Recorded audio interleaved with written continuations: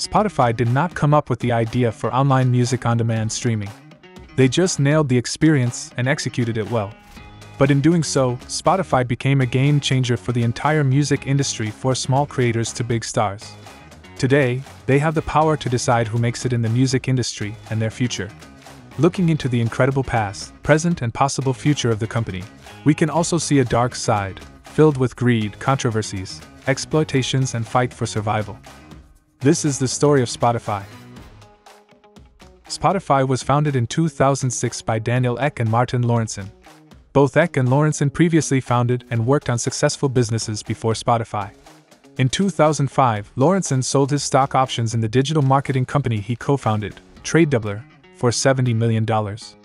In March 2006, TradeDoubler bought Advertigo, an advertising service created by Daniel Ek, for $1.25 million. They soon became friends, finding that they had common experiences of depression because of unexpected wealth and a lack of purpose after retiring from their earlier businesses. As Daniel and Martin discussed a lot of ideas back and forth for their next project and spent a lot of time hanging out, they realized how difficult it was to get music content, despite the technology having been around since 2000. They got stuck on the idea of Spotify. In early 2000, the music industry was quite different compared to now. CDs were the most common digital medium and personal computers just started to become common in every household. Napster started the digital music revolution and was extremely popular in early 2000 with its peer to peer file sharing service allowing people to share music files for free. Obviously, this was not legal and record companies sued Napster. Napster ceased operations in 2001 after losing a wave of lawsuits and filed for bankruptcy in June 2002. Daniel Ek first had the idea for Spotify in 2002 when other similar illegal sites like LimeWire, Kazaa, and torrent sites like Pirate Bay took over Napster's place. Apple iTunes Store was launched in 2003 as one of the first attempts to provide digital music downloads legally, allowing consumers to purchase and download each song for a small fee iTunes and internet radio services like Pandora further pushed the growth of digital music consumption. Still in 2006, it was cumbersome to get music content. Popular internet based options were to pay for each music in services like Apple iTunes or listen to digital radio services or pirate it. Piracy was haunting the music industry and the industry was losing billions due to it. Daniel realized that you can never legislate away from piracy. Laws can help, but the only way to solve the problem was to create a service that was better than piracy and at the same time compensates the music industry. But in order to launch a successful music streaming service, they need access and rights to popular music content. And to pitch the service to record labels, they needed a working prototype. It is reported that they used thousands of pirated MP3 files from sites like Pirate Bay for the initial development of the service. They were building a service in which creators get paid, but the user's experience doesn't suffer. User experience was one of the key focus areas, and for that, they utilized the existing peer to peer technology used in Napster and other torrent sites. When you stream a song on your desktop, Spotify stores an encrypted version of the song on your hard drive so that replaying will not end up in redownloading the song again. Also, when a song is played for the first time, instead of downloading a complete file just from its own server, Spotify searches for copies of the song wherever it can find them, including the devices of other Spotify users. This greatly contributed to making the overall user experience snappier. The company removed its peer to peer network later in 2014, once it had enough servers spread around the world. Services like Napster were hugely popular but illegal. On the other end, services like Apple's iTunes, which sold songs individually for as much as $2 per track, were legal but expensive. Spotify's approach was to identify and carve out a niche between these two extremes in the music market. Daniel and Martin wanted Spotify to create a seamless listening experience for the users, to make them feel as though they had every single song ever recorded right on their hard drives. The company built a working prototype in just a few months and went to closed beta in less than a year. To find its initial beta users, they invited influential music bloggers in Sweden to try the new product. Spotify's beta testers were struck by just how good the product was and they helped to spread the word about the exciting new music app. Spotify now had a better version of Napster, and now needed to move away from piracy to become a legal business before its official launch. And for that, they needed to make licensing deals with record labels. The music industry was in a difficult position at this point. The global music industry revenues were declining steadily, falling from $25.2 billion in 1999 to $19.4 billion in 2006, and showed no sign of slowing down. The music companies had huge profit margins selling physical products like CDs. But as everything became more and more digital, sales started to go down as well as the profit margins. This was further boosted by piracy as obtaining pirated digital music files became much easier and the cheapest option. Spotify's timing was perfect, and they had an impressive product. Still, everything did not go as easily as they planned. Years of uncontrolled piracy had left record labels paranoid about giving up rights, especially to a free ad based service. Without that first deal with the labels, Spotify wouldn't have survived. It took Daniel and Martin two years and many compromises to make licensing deals with record companies. Record companies, including the big three Universal, Sony, and Warner Music Group, agreed to give licenses just to the Swedish market initially as an experiment, and later to other major European markets. Spotify had to offer an 18% cumulative stake in Spotify to the major record labels for less than 14,000 US dollars to sweeten the deals. Apart from the equity stakes, these deals are believed to have some other terrible terms as well, including paying upfront fees to other pro rata payments and controls. The record labels themselves had little to lose by backing Spotify, and at the same time, they needed to try something different to reach young music fans. Spotify's streaming service was launched on October 7, 2008, with a freemium model, a free plan with ads, and a £10 per month premium plan without ads and extra features. Due to high demand, they had to restrict the free plan sign up by making it invite only initially. Spotify became popular in more European markets and added more music distributors, independent artists, and investors. By March 2009, Spotify had 1 million total subscribers, and by the end of the year, Spotify was available on both Apple and Android mobile platforms and continued to grow as it provided an alternative to both legal and illegal downloading of music. Sean Parker, the co founder of the infamous file sharing site Napster and the president of Facebook, was impressed with Spotify especially with its user interface and its social sharing functionality that allowed users to create and share playlists of songs with friends. Even though it was not yet available in the US, he became the first US investor in Spotify and introduced the product to Mark Zuckerberg. This created a huge hype for Spotify even before it was launched in the US. In April 2010, Spotify launched Spotify Music Profile, which enabled its users to publish their music profiles on the web and connect to Facebook, along with other social features. Spotify reached 1 million paying subscribers by early 2011 and was valued at $1 billion. After years of waiting, Spotify signed US licensing deals and launched in the US on March 2011. They kept on adding new features, partners, and artists, and by the end of 2012, Spotify had 20 million total subscribers, including 5 million paid subscribers. Spotify went public on the New York Stock Exchange in 2018 via direct listing, and today it is the largest music streaming service provider with over 456 million monthly active users and 195 million paid subscribers. There always has been concerns about Spotify's value to artists.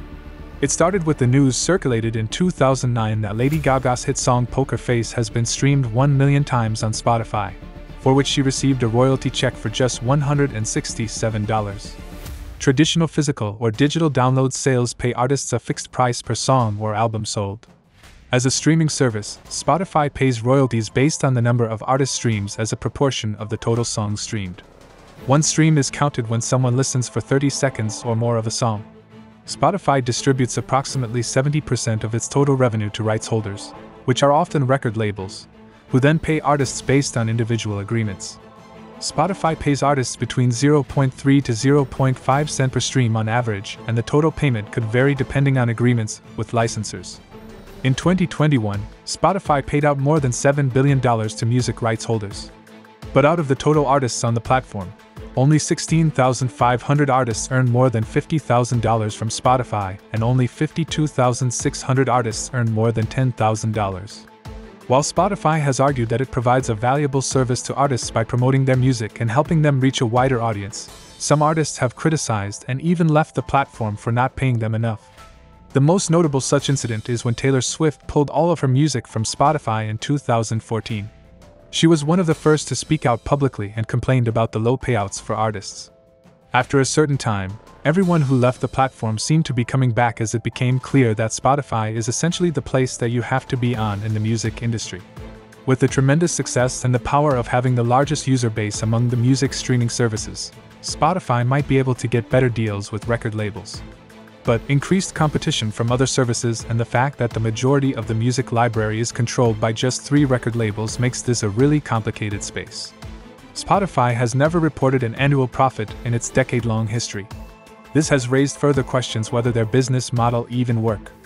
Spotify is working on multiple features that could bring in higher revenue, attract more users as well as more independent artists to the platform and reduce dependence on record labels. They created the Discovery mode, where an artist agrees to forfeit a percentage of their streaming income in exchange for Spotify algorithmically promoting that artist's music to more users.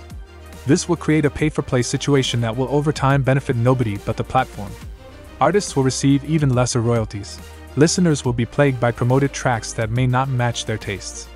Artists would ultimately need to compete with one another for streams from their audiences, and in a possible future where everybody is opting to pay to get their music promoted, the algorithm will be unable to prioritize easily, possibly rendering the whole scheme redundant. Spotify playlist feature has been one of the core factors which attracted and tied users to the platform. With this, Spotify has also changed the way people discover and listen to music. It is very common for people to be exposed to different songs through playlists. People don't listen to albums or songs in order anymore. This gives Spotify more power than record labels over the modern music industry. With these playlists, Spotify can easily boost an artist's reach overnight by simply adding a song to the playlist, or the opposite by just dropping it. Spotify has been focusing much more on personalized music experience to differentiate itself from competitors and get more leverage over the record labels. They are now investing in artificial intelligence systems which get to know each individual user and their music likes and dislikes, creating personalized playlists for your every mood, vibe, or musical preference. Through personalized playlists like Discover Weekly, Spotify can even move towards songs that are less expensive to license and away from music owned by the major labels, thus keeping a higher percentage of revenue share. There was a controversy in 2017 that some playlists on Spotify are full of unknown artists with no public profile and few songs, but millions of streams, all as a result of their position on the service. Even though Spotify denied these claims about adding fake artists, they are moving ahead with AI generated songs and features. Spotify is even working on an AI tool that allows users to create new songs on their own or by modifying existing songs. They have also patented a technology that predicts which relatively unknown artists on the platform are likely to break in the near future, and is reportedly been working on a new feature that will create personalized workout playlists based on users' health data. Daniel Ek and Martin Lorentzon never worked in the music industry before founding Spotify in 2006. They both found success in advertising technology before Spotify. While privacy concerns are generally aimed at Facebook, Google, Apple, and Microsoft, Spotify has ambitions to rival these advertising powerhouses. Each moment, millions of people use Spotify to listen to music, which can be an incredibly intimate experience. What we listen to often says a lot about our emotions and other aspects of our life. Spotify's free plan, which is used by more than 250 million people, is based on advertisement and is a major revenue area for the company. Maximizing profit from advertisements is a priority growth plan for Spotify. Spotify uses your listening history to determine what music it will recommend next to you. But the data Spotify collects goes beyond the simple recommendation to predicting your emotion and even manipulating it, or that advertisers can use to target specific products to you. In 2018, Spotify filed a patent involving speech recognition that would essentially allow it to make suggestions based on your emotional state, gender, age, social setting, or even accent. Spotify is investing heavily in original content like Netflix in order to reduce its dependence on licensing deals and increase its net revenue. Spotify has been one of the most aggressive investors in the podcasting market recently.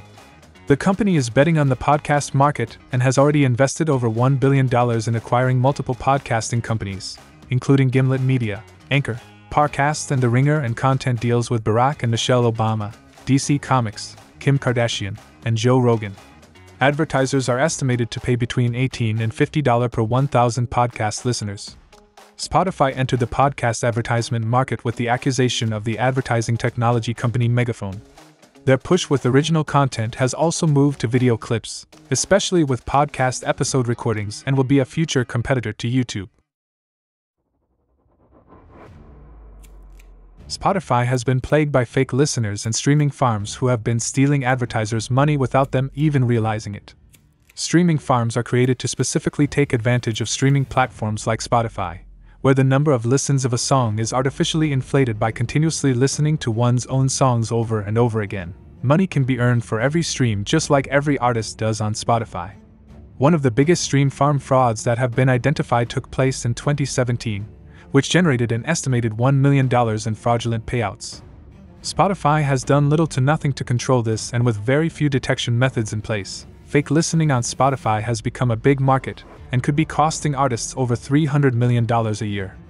Apart from all these, Spotify has created other controversies due to their content policies banning music and podcasts, privacy policy updates, lawsuits, a few security breaches, and other criticisms. The most recent ones were when Daniel Ek donated 100 million euros into a European defense AI company Helsing, and criticism from anti misinformation groups when conspiracy theorist Alex Jones appeared on Joe Rogan's podcast, which lead to the removal of multiple episodes of the podcast, among other things. Even with increased competition from big companies, the influence Spotify has on the industry is unparalleled. Spotify has faced some challenges and criticisms over the years. While Spotify has argued that it provides a valuable service to artists by promoting their music and helping them reach a wider audience, some artists have criticized the platform for not paying them enough. Another criticism of Spotify is its business model, which some critics have argued is not sustainable in the long term, raising questions about whether Spotify can generate enough revenue to support its operations. Adding the complicated relationship with record labels, Spotify is in pursuit of ways to generate revenue and reduce operational costs. This has also turned Spotify to be a major player in AI and advertisement industries. Despite these challenges, it is clear that Spotify has made a significant impact on the music industry, and it will continue to play a key role in the future.